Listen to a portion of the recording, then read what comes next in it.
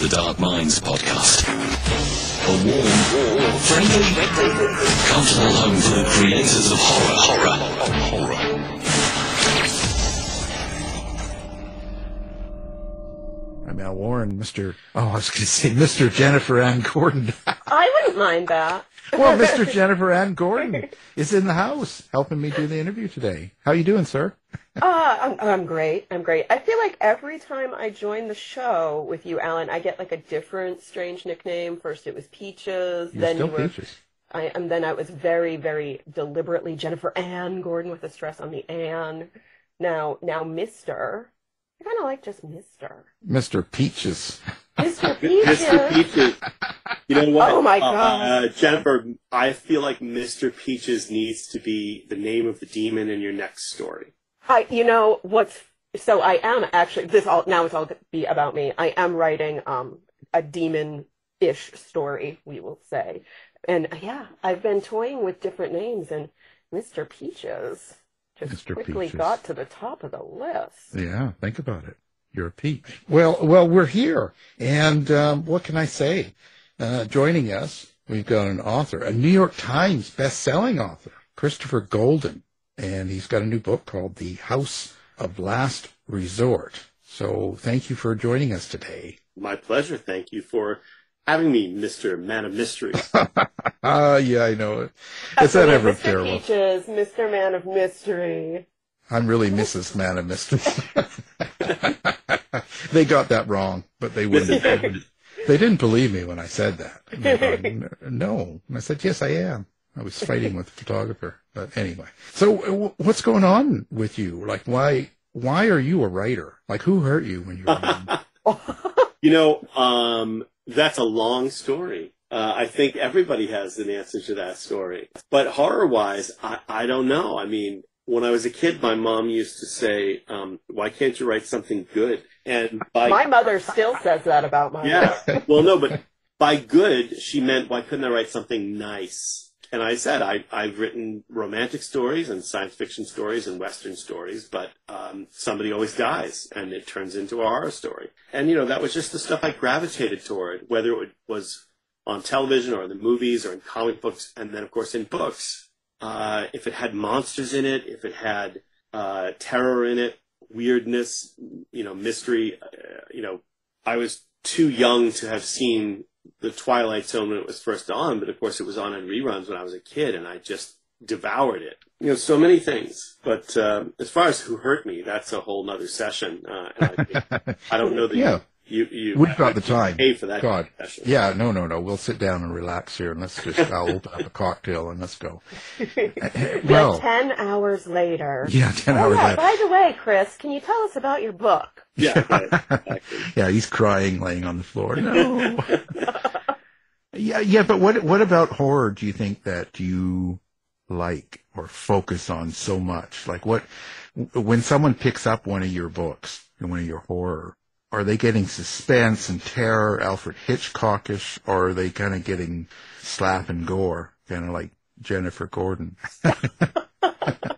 I don't shy away from gore, but it's not my goal ever. You know, it's it's there when it naturally occurs in the story.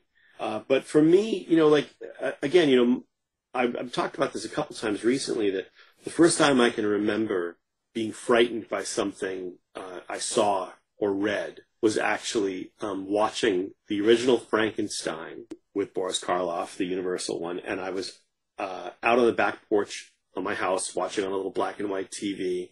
I was seven years old, and the monster is playing, um, you know, uh, "She Loves Me, She Loves Me Not" with the with the flower with the little girl, and they run out of petals on the flower, and he picks her up, and although they don't show him throw her into the pond, you know that he does, and because he's uh, he has a simple mind, the mind of a very small child, you cut to him walking down the, the center of the town holding the, the, the soaking wet corpse of this little girl and the confusion and sadness and fear on his face. I wasn't afraid of that, but I was horrified. And so to me, that's kind of the moment I think when I thought, oh, well, this is an emotional level that is not easy to achieve. This is uncommon. And I, and, and you add to that fear, which is so uh, uh, cathartic. You know, uh, so many times there have been studies about comedy and horror and how the, the effect of great laughter in a, in a comedic film or television show is very similar to the effect of having been terrified by watching something like that, um, because you have this experience, this heightened emotional state, and then you get to exhale to relax out of it. If you're reading a book, you get to close the book. And so I think that that is the high that I was, that I was always searching for as a consumer of, of fiction. And also, I think, as a storyteller.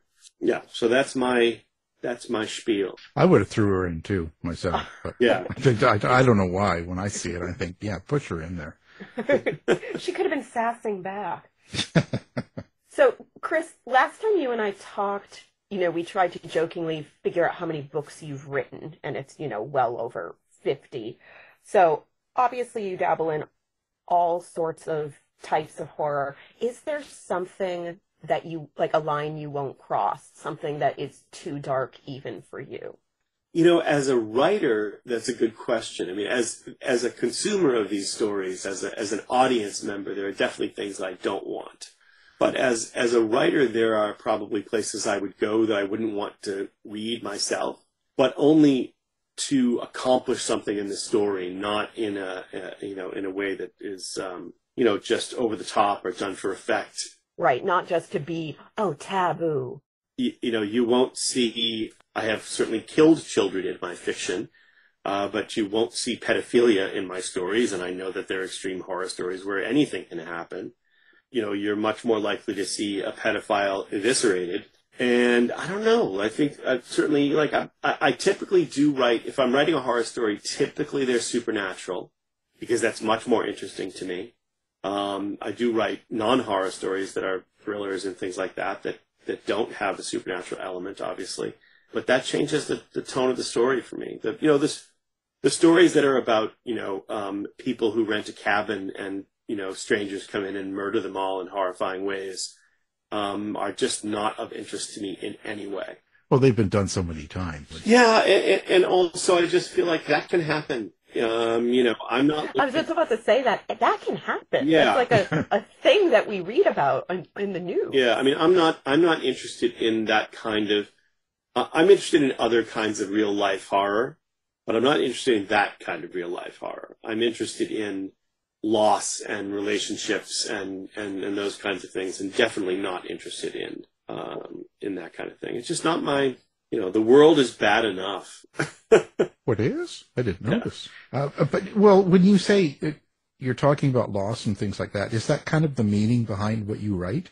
Is there a subtext? Like you know, when we talk to a lot of crime writers, there's always some sort of justice meaning or some sort of thing that they want people to get.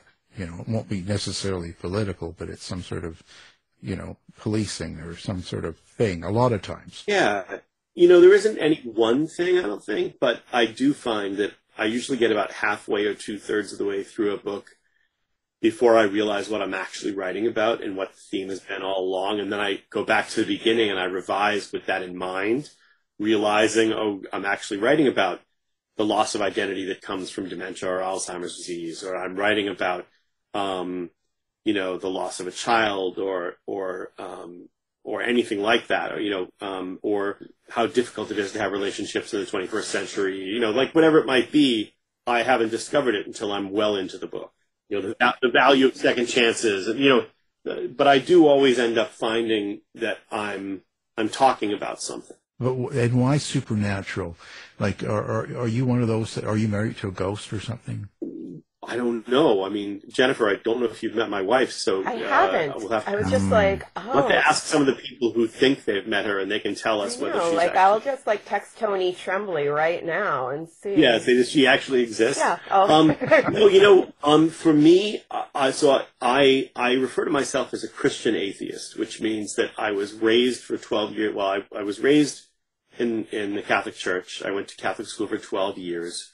Uh, I, while I don't believe that, uh, there is a God, the kind of God that, that modern religion believes in, I do believe in the things that I was taught, uh, were part of Christian ethics, when not Christian ethics of the 21st century, which involve um, hating anybody who's different from you, but the Christian ethics of do unto others as you would have them do unto you, love your neighbor, all of those things.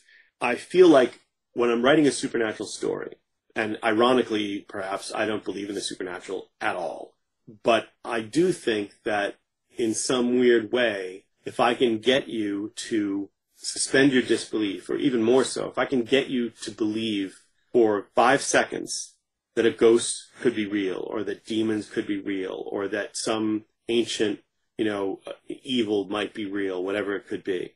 That means for those five seconds, you also have to believe that there could be some larger goodness, some, some divinity, some angelic presence of whatever kind you want to say. And I think that the willingness to believe in better things is a gift. You know, I don't know. Is it, it's a, there's a long way around to that way of thinking, but, um, but it really is part of what appeals to me about these kinds of stories. Plus, I just like to scare the crap out of people. Yeah, I mean that's just a, an addictive thing to be able to do. I think to people, it's just like, oh, it's really great to scare. But nothing's better. You know what's better than people saying they were scared from reading something that you wrote is the few times that I've actually been told that what I wrote made people cry. There's no better, no better compliment can be paid to a writer than than that you were brought to a, a heightened enough emotional state that you cried. Uh, so uh, we, I know we haven't really talked too much about the House of Last Resort. So obviously, I want you to talk about the House of Last Resort. Yeah. Tell us about it um, and how that relates, because this is what made my my brain kind of catch on fire for a second about like your Catholic upbringing and how that influenced the House of Last Resort. So obviously, tell us about the House of Last Resort, and then House of Last Resort is the story of a young American couple who, like so many young American couples these days, uh, are um, remote workers. So they have the ability to live any place they want. Uh, and they encounter um, a very real phenomenon, which is that uh, all over Italy, and in this case it's Sicily, and in some other countries around the world, you could buy uh, a vacant home for a single euro. So there are places in Italy where you can buy a home for a euro as long as you promise that you know you're not going to rent it out. You'll have to live there yourself for at least five years, and you'll have to um, spend at least I think fifty thousand euro or something like that, depending on the circumstances, to to renovate that place. Um, and this is because there are lots of places that have been sort of abandoned by their population. Young people leave to go to cities. And so these old sort of hill towns and places like that um, are on their way to becoming ghost towns. And to sort of restore that town with some vibrancy, they invite people from all over the world to come and live there. And so this couple's like, well, hang on. Why wouldn't you do that? And this is what I think too. I look at it, if we didn't have the roots that we have, uh, I'd be like, why, why would we not go to Italy and buy a house for a euro? Unfortunately for them, the house that they buy uh, has a history that they're not aware of uh, that's connected to, uh, well, we're going to talk about it, but I don't want to go too much into detail, that's connected to the Vatican that has a history that involves exorcism. So we'll leave it at that. That. So as far as my Catholic upbringing is concerned, you know, I, in a weird way, I used to say that um, 12 years of Catholic school mostly taught me how to get away with stuff. And I think that that's probably true in some ways about fiction that I've written that involves this sort of thing. It's, you know, it taught me mythology of Catholicism. And I say that the same way I would say any other mythology. The, what, you know, what who are the, the heroes, you know, what are, what are the stories? What are the legends? What are the, what are the monsters? Right. Um, and so it's, it's a very fertile territory to play with. Um, and in this case, I, I just like to take kind of tropes and twist them around and do them a little bit differently. Now, when you were a kid during your, you know, 12 years of Catholic school, did you believe in, like, did you believe in the demons then? No. Because I, I'll say I'm also like a, a lapsed Catholic, a former Catholic, a Christian atheist, whatever you want to call it. Uh, but, you know, I think I was raised to be so scared of demons that even now, like, writing a demon story, I'm just like, maybe I shouldn't do this, even though I don't believe in it now. That little kid part of me is still saying, but what if, you know, what if Sister Melinda was right? Yeah. You had a sister Melinda? She was my first grade teacher. That seems like a strange name for a nun. Yeah, she was, you know, she's everything you would expect a, a first grade teacher to be. Yeah. When it was still okay to hit kids. Oh yeah, no, I had a lot of great nuns. Um, uh, Oh, that could. yeah, yeah, no, not, My, not in my, that. Chris. I'm gonna I'm gonna take that clip and just play it as an ad. Yeah, please I have do. A lot yeah, of I was great gonna nuns. say Start- that's the that's the sound You know bite for today's Please show. start that rumor. Um, Did you know that about Chris Golden? yeah, I mean, just immaculate with Sydney Sweeney. Um, Well, I mean, that's a very specific kind of yes, nun. horror horror movie nuns tend to be pretty hot. That's all. Oh, they're hot. I'm like, had Sister Melinda been like that, I would have been fine with her hitting me. She'd be taking her clothes off while you should. um, oh, So the interesting thing is, I don't, you know, I I never thought too much about God. I just sort of took it for granted. I think when I was in school, but I don't think I ever believed in hell, um, and I don't think I ever necessarily believed in demons. Um, you know, I think the first time I saw The Exorcist, it did creep me out. But I think I also go by. I I, I refer. I've referred to this so many times, so it made a massive uh, uh, impact on me. Uh, there was a terrible TV movie in I assume the late seventies, but I have to look it up, called something like Death Ship or something. I'd have to look it up. But it was a TV movie, um, and they find this the sarcophagus of the Antichrist, if I'm remembering it correctly, at the bottom of the sea, and they they they hoist it out of the water.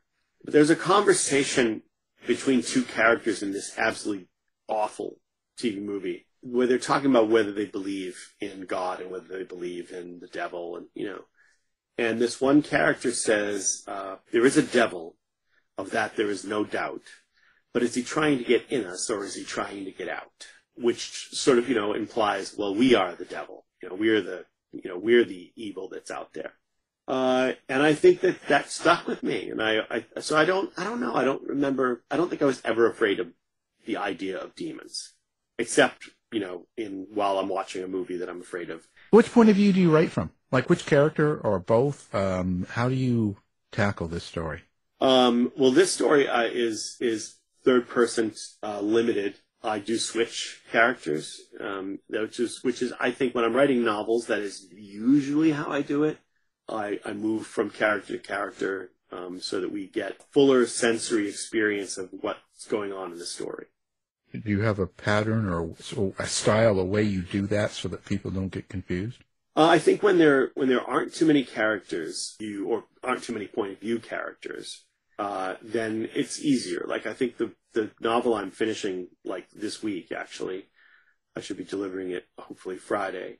Has I think four point of view characters, but I wrote a novel a couple of years ago called All Hallows. I was just about to bring that up. Yeah, to be like, which- you wrote an epic that had a lot of characters. Yeah, well, it- funnily enough, Jennifer, it's it's not that long a book, um, but it is a very busy book, and it has lots of point of view characters. Again, third person point of view characters, but in that case, uh, every scene is a is a uh, a different chapter, and every one of them has the name of the character at the beginning. It it literally just says, you know, Alan Warren, and then you go into the scene. Yeah, I listened to that one on audiobook, and the audiobook was Thanks. No, I'm, I, I've heard wonderful things about it. I, I really appreciate the fact that they do send, you know, they'll send, you know, three or four options for narrators now. Once upon a time, they just did whatever they wanted, so it's nice to get some choices. Are you able to listen to your audiobooks without like I know like I cannot listen to my I, I can listen to part of my audiobooks, but then I'm just like no, I get all weird and anxious. Uh, are you able to get through one? I don't, I, uh, you know, uh, I just feel like I know what's going to happen, so I feel like my patience would be. I'm not a patient person. My wife would be the first to tell you. Your ghost wife. Yes, my Who may or ghost wife not would be the first to tell you. She makes fun of me all the time about my impatience. How do you get into the mindset of your characters when they're not like you? I mean, so you've got a female like Kate. What do you do to get into that? That's a different.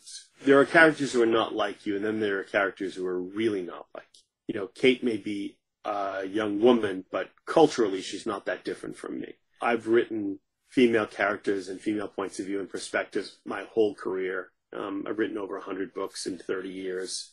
I've never flinched with that. And I think part of what helps me in that area is that, you know, my parents were divorced when I was very young.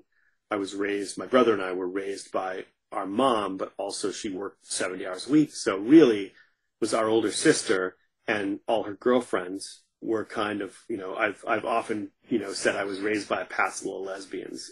And, uh, and so I just feel like I had a lot of, I also always liked girls and when I got older women so much better than I liked men. You know, as humans, I don't just mean from an attraction standpoint. Uh, you know, I just always found it much easier to get along with women. Um, and as a result of that, I think I had a lot of uh, intimate conversations with the girls I knew and the women that I knew as I got older that they didn't typically have with a lot of their male friends. Um, so I'm not claiming to be the you know the greatest writer of female characters around uh, by any stretch, but I do think that uh, I do it adequately. Let's say that. Are you sure you're not gay? um, I'm pretty sure. I'm pretty sure. I liked the pause and then like, I'm pretty sure. you have to double take. Well, it's just that for me, I'm, you know, being I'm, gay I'm and a lot of my friends, yeah, well, a lot of my friends in that we we are very close to the girls. Like we all talk about Yeah. things, and it's not a not a big deal, right? It's usually, you know, the more masculine, straighter guys that don't have that kind of intimacy with a woman that just friends. You know what I mean?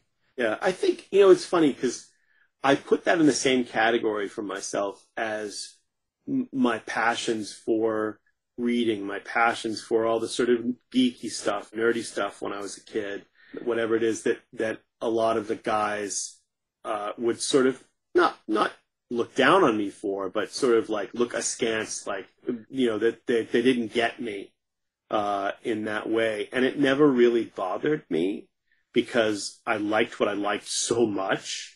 Um, and so I feel like in that same way, I was never troubled by the idea that, you know, you know, and, and that's probably why I ended up fooling around with the sisters of a couple of my friends, you know, like, that's, that's this is what happened. broke bro code.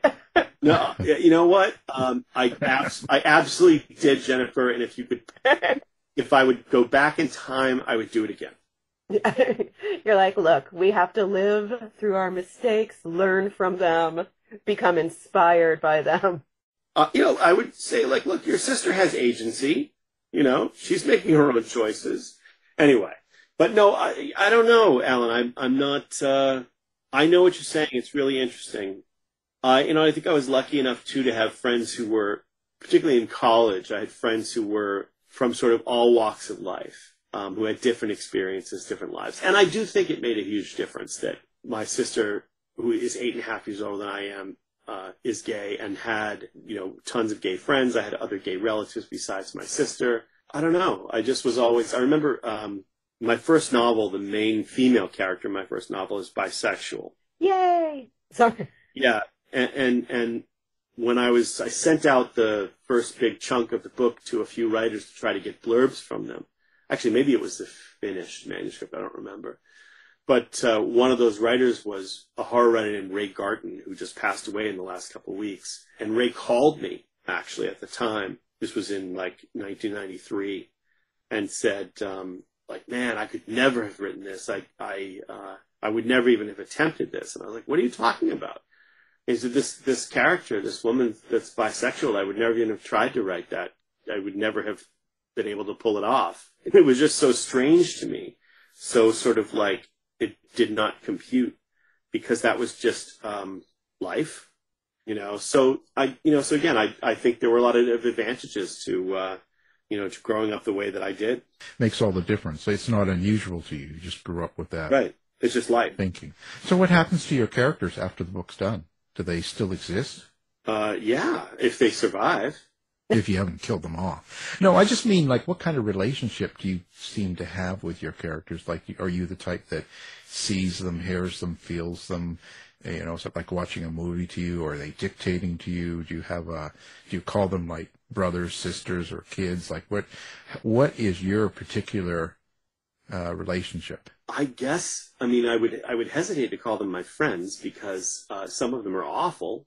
Um, but if I had to define them, it would probably be more like that. I don't think of them as my children or anything like that. What I what I the way I look at it is that um, very often, if I'm not 100% sure how a scene is supposed to go or how it's going to go, I, I will close my eyes while sitting at my desk and sort of in my imagination insert myself into the scene uh, as an observer, you know, and just kind of like uh, imagine how that scene is meant to unfold and kind of let it happen in a natural way. But occasionally there's a there's you know there's a character that takes on a life of its own. I, I wrote a trilogy of novels that actually we just re-released called the Veil trilogy. The first book is called The Myth Hunters, and um, there's a character who's in that whole series who um, was not in the outline at all. Um, and while I was writing, the main character becomes aware of being followed. Uh, and when I wrote that the main character was being followed, I didn't know I was going to write that and didn't know who was following him. And when it came the moment for that follower to appear, I this character basically created herself. All of a sudden, she became probably the third most important character in the whole trilogy. Um, and that just happened. It just, uh, and I, you know, writers talk about that kind of mystical stuff all the time, and I, it doesn't usually happen to me, but it did happen in that instance. Um, as far as whether the character is alive, I mean, I, I would think that any character who's, um, like I, first of all, I don't go back and read my books when, when, when they're out, they're, they're out unless I need to revise them for a re-release or do something like that or unless I'm writing a sequel or something else in that world. But I do feel like when I'm done, if the character survived the book, then the character's still there, and and it's possible that I might someday dip back into that world or or you know write a sequel or what have you. But writing a sequel is sort of like just returning. You know, it's like you've been away from home for you know 20 years and you go back uh, and everything has changed, but some things have stayed the same. You know, yeah, so I just feel like they do carry on when you're not looking. And so, what do you get out of each book when you complete a book? A check. Um, yeah, well, is that? Yeah, well, that could be it. Like some people will say that. Well, I just, you know, I work for money. Uh, no, I, you know, I mean, I do work for money because I have to. You know, I've been very fortunate in that I've been able to make a living at this. Um, the reality for me about what I get out of the books is that uh, it's the satisfaction of having written it's the the need to tell stories. So it's you're you're you're feeding that need. For me, anyway, I know not everybody is the same. I was on a panel one time with uh, Jonathan Maberry, um, who's another writer, um, and Jonathan talked talks with such joy about the process of writing, and I wanted to strangle him.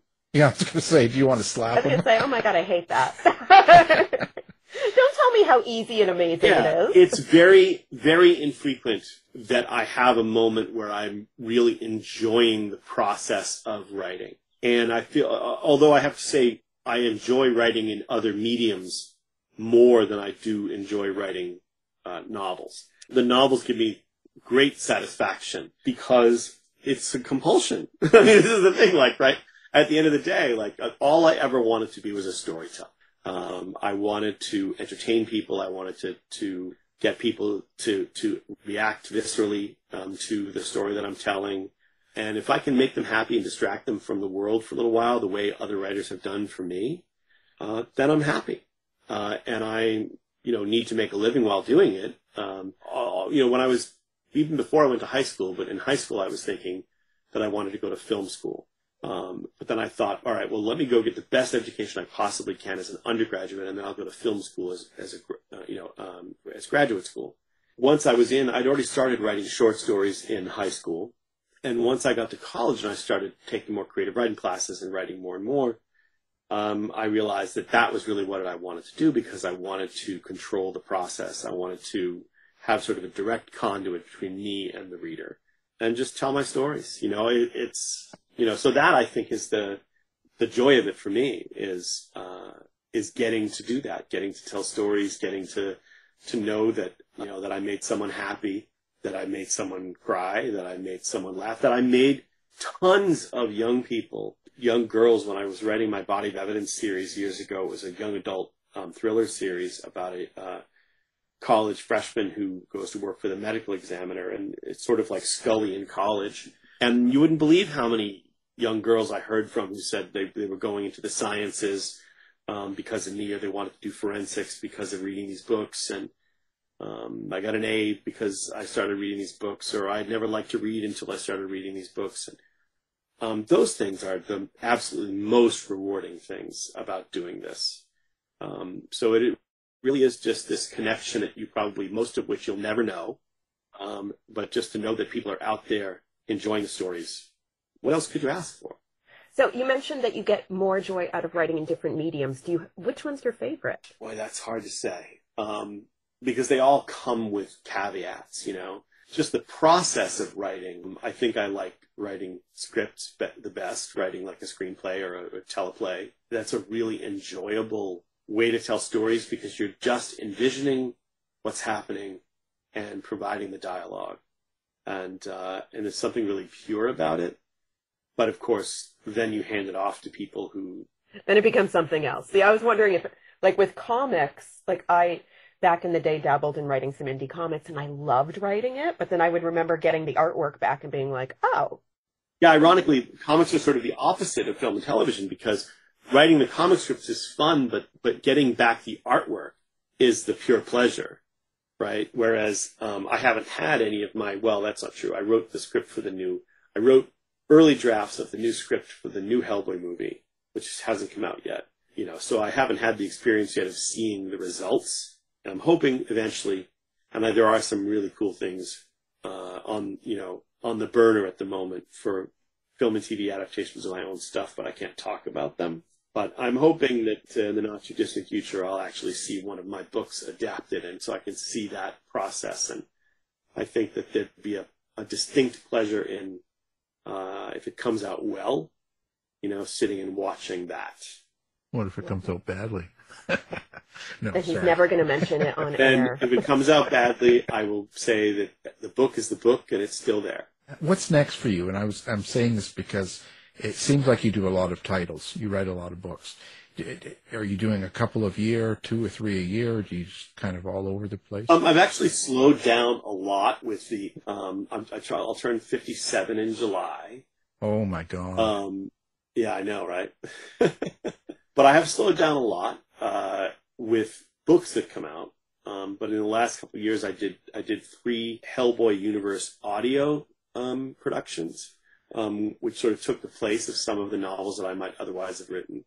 So I'm really only writing generally about one original horror novel a year now, at least for the moment. So I have a new one that I'm delivering this week, um, which I guess I guess I'm going to tell you. It's I'm not going to tell you about it, but uh, it's called The Nightbirds. So I'm excited to deliver that and get that out, and and um, that'll be out next year.